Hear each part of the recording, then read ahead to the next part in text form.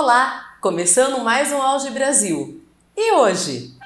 O Circo Mágico chega ao Tivoli Shopping.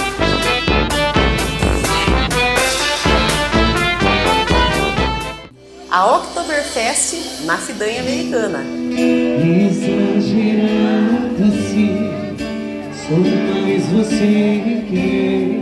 Teatro a bordo na Praça Central.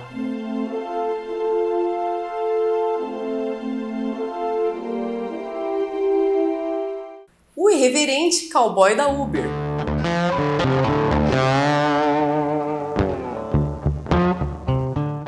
E também o samba de Aninha.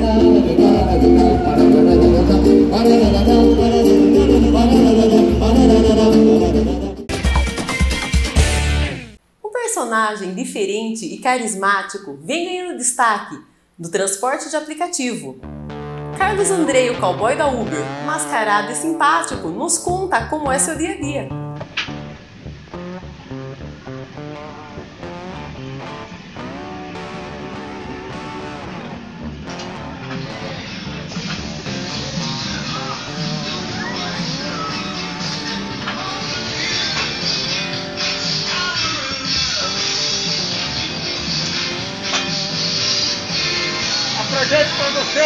Cowboy do Uber aí de volta para o futuro. Olá, cowboy da Uber, cowboy do futuro, tudo bem? Tudo bem. Para você falar melhor comigo e para o público poder te ouvir melhor, agora pode tirar a máscara. Tudo bem.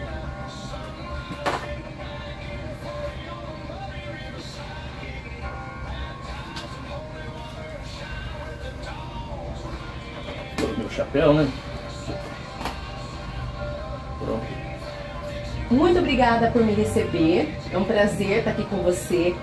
E me conte, em primeiro lugar, qual é seu nome? Meu nome é Carlos Andrei. Você vem de que lugar? Eu nasci americana, mas aos 5 anos já mudei para Santa Bárbara e estou até hoje. Correto. E como surgiu a história do cowboy da Uber, cowboy do futuro? Então, tudo começou com a volta dos rodeios depois da pandemia. Eu sou um admirador do country, do sertanejo, do caipira. E aí, como eu faço Uber, eu achei que seria legal, com a aproximação das festas de, de peão, eu estar traiado, né? pelo menos com um chapéu. Aí eu vim aqui na loja da Silvia, comprei um chapéu, comprei uma camisa e uma bota. E aí começou, não parei mais. Aí passei a, pro carro. Aí de mim eu também comecei a enfeitar meu carro com adereços country. Começou assim. Bacana. E aí surgiu o cowboy da Uber, com vários acessórios country.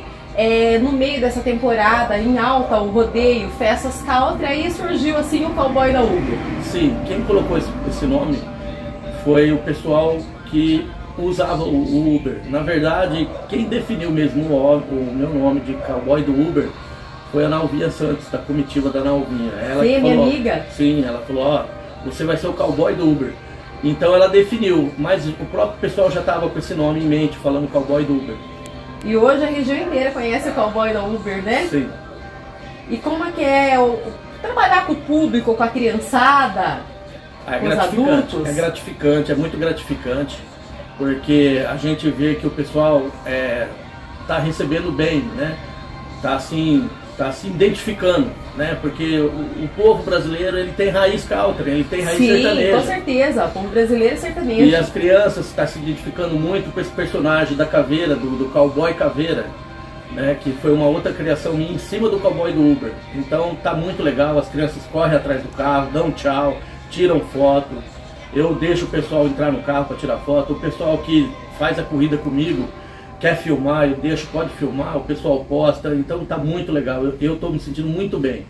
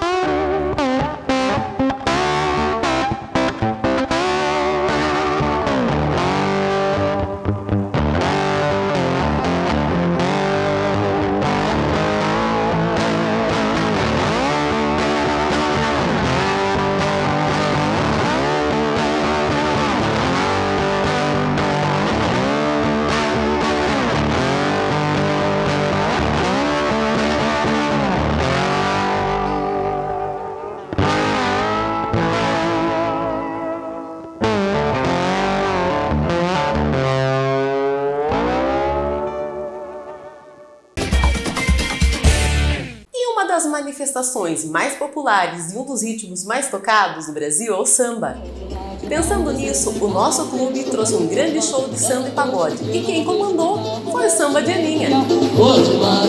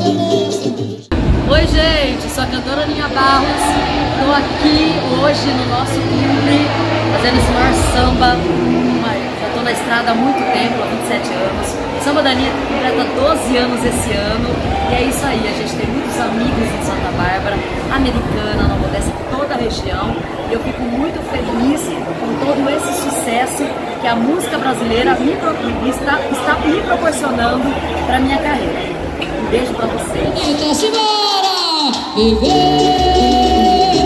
E não ter a vergonha de ser feliz Cantar, cantar e cantar A beleza de ser uma cana aprendiz Ah meu Deus, eu sei Que a vida devia ser bem ensinar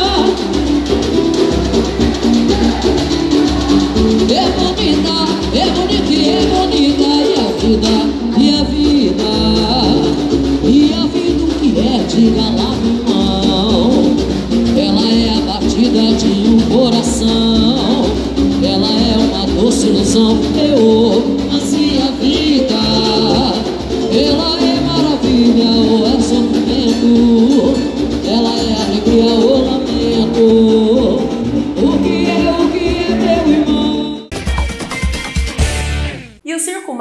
chega ao Tivoli Shopping. Palhaços, malabaristas, trapezistas e muita gargalhada. Assim é o espetáculo no Tivoli Shopping.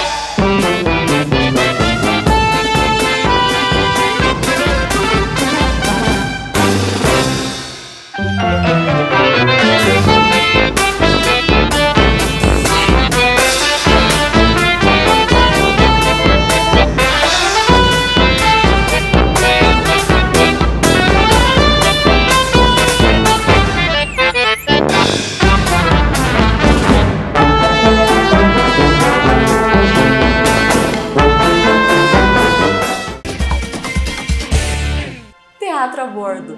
Trata-se de um espetáculo itinerante, onde o teatro móvel leva cultura e lazer para todos os cantos do Brasil. Danças, projeção de cinema e apresentação de artistas locais.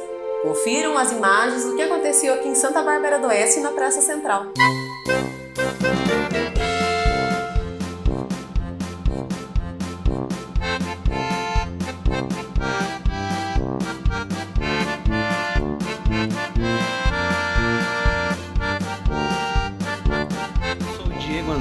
Sou ator e produtor do grupo Teatro a Bordo, que está hoje, dia 7 de outubro, a gente está aqui na cidade de Santa Bárbara do Oeste, acabamos de se apresentar e daqui a pouco tem mais programação ainda.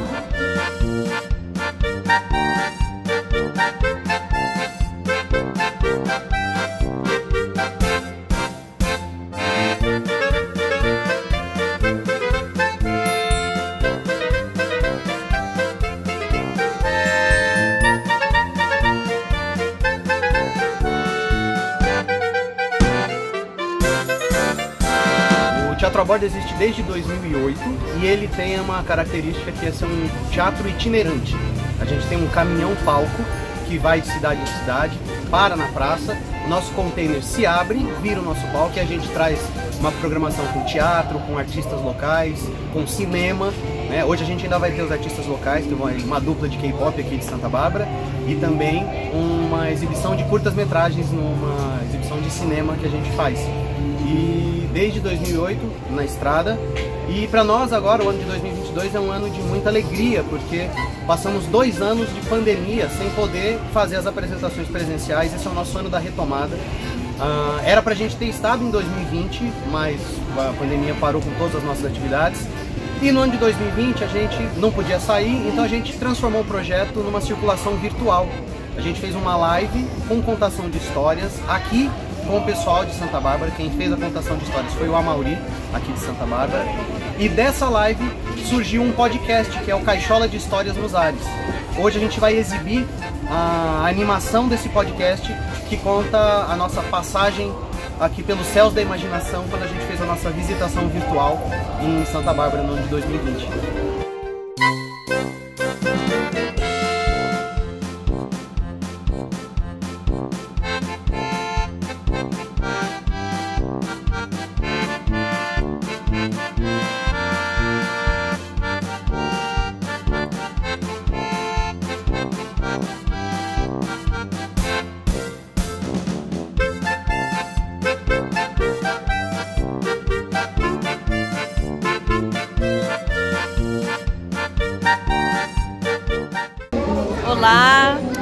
Sou Tânia Catuapó, sou moradora da cidade de Araçatuba e estou aqui em Santa Bárbara do Oeste para trabalhar com uma oficina amanhã, um encontro de duas horas.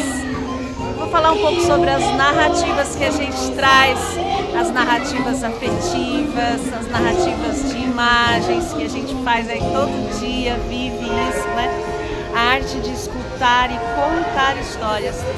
E vai ser uma oficina, um encontro de duas horas da manhã. E no dia 9, às 17 horas, aqui em Santa Bárbara, também o espetáculo Conta Outra, que Catuapó com banda. Então vai ter histórias, músicas, é um projeto chamado Conta Outra, Universo de Histórias de Tânia Catuapó está nas plataformas, um repertório recheado de histórias de cultura popular e cantigas. E a maioria das cantigas foram compostas por artistas da minha cidade, lá de Araçatuba. Estou muito feliz por estar aqui partilhando do Encontra Ponto. Muito obrigada.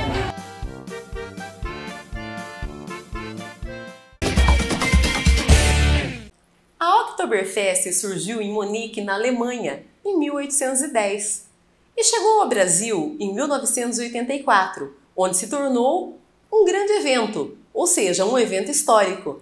Blumenau atualmente recebe milhares de pessoas.